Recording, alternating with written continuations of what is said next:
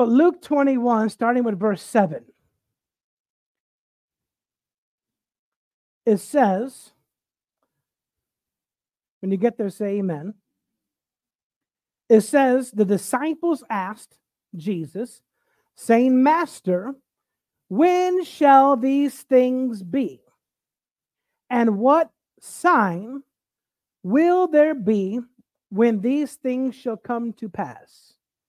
And in verse 8, Jesus said, Take heed, or means pay close attention that you be not deceived. Say, not deceived. Say, not delusioned. Take heed that you be not deceived. For many shall come in my name, saying, I am Christ, and the time draws near. Go you not therefore after them. We talked about there being many false Christs, and in the last 10 years, there have been mystics and Western people taking DMT, including Will Smith, Jeff Bezos, uh, the, the Cook, Tim Cook from Apple. They're taking DMT, which is a drug that opens up the pineal gland and it takes them into the spirit realm. And this is true. It's not just high.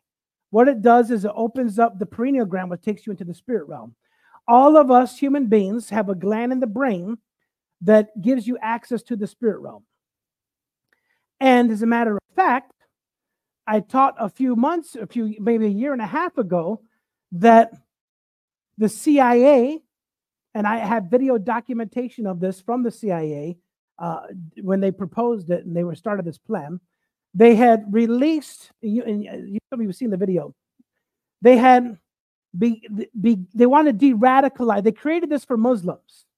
So the idea of the CIA was to de-radicalize the the terrorist Muslims, and so they call this the God gene or the God molecule, the pineal gland that gives you access to the spirit realm in your brain.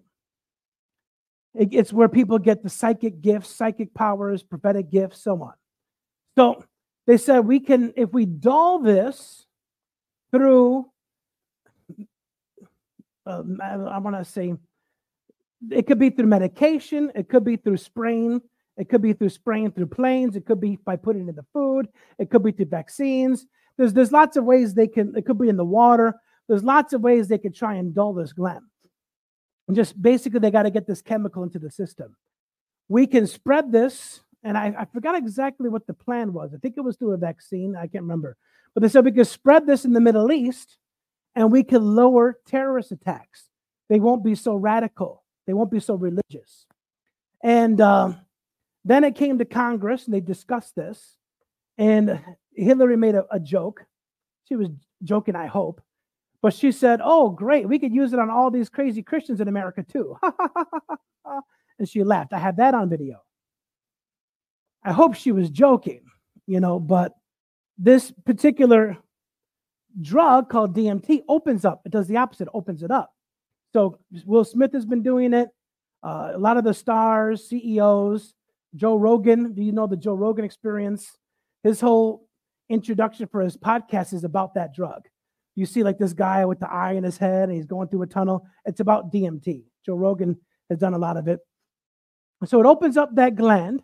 And when you go into that, what happens when you take that drug, you kind of collapse. You go into a trance. You, you see this every and uh, if you if you watch YouTube, if you go to YouTube and see DMT encounters and you listen to everyone's experience, it's 100% the same, everybody.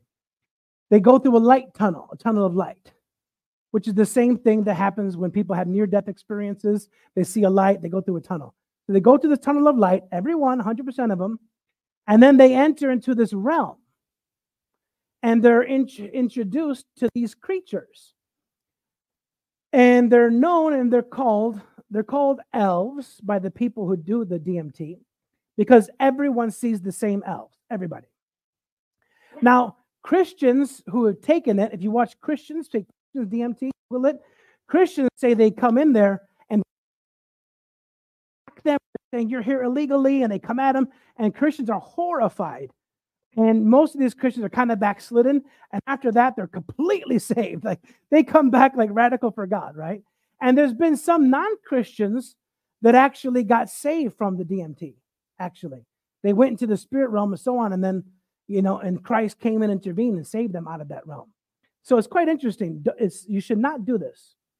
But these, this creature comes to them and this creature is the keeper of that realm. Everybody meets this creature. And the keeper of the realm comes to them when you take DMT, welcomes them, and tells them their purpose and the purpose of life, uh, what they should be doing. Uh, Tim Cook, a lot of these tech guys, and, and I don't I don't know about Elon. I probably I, I would I would I would probably be I I could guess Elon's doing it too. But they have, but I don't know for sure. I, I think I heard that he does it or did it, whatever. But they give him new technology. So a lot of the technology we've gotten in 10 years has come from this uh, this from spirits in this realm that they come into through DMT. They're releasing new technologies. So some of these uh, beings have told many people that Jesus is an alien and that Jesus is from Pleiades. He's an alien from Pleiades. And there's, I think, a, it's a blue Jesus that appears to many of them. And it's interesting because some occultists have also said Jesus is an alien from Pleiades. So these demons are, you know, they're saying the same thing. And whether it's an African or an American or a Canadian that takes the DMT, they're getting the they're meeting the same entities, they're licked the same, and they're saying the same message. These are demons. And we are in this age that Jesus said, many will say, Here is the Christ, there is the Christ. Don't go for it, don't believe it. Then he says in verse 9, now, how many of you guys know what I've been talking about, about the DMT and these creatures and all that? Okay, a couple of us do, yeah. I mean, to be honest, it was so interesting. I thought, what I, I called some pastor friends and said, hey, what if we tried DMT? Like, will we go in there and like cast out devils and like fight demons and beat them up? You know, you know, we kind of joked and we're like, no, bro, I wouldn't do that. I'm like, ah, I'm just, I'm just wondering. I'm just, I'm just putting it out there. You know, like, well, you know, you know. So obviously, you don't want to do that, right? And let me say, you also don't want to manipulate the pineal gland by any way. There are some people who call themselves Christians. I mean, I, you know, and they're soaking in Epsom salts to heighten their pineal gland. And they're doing certain, putting certain crystals on their forehead to heighten their pineal gland.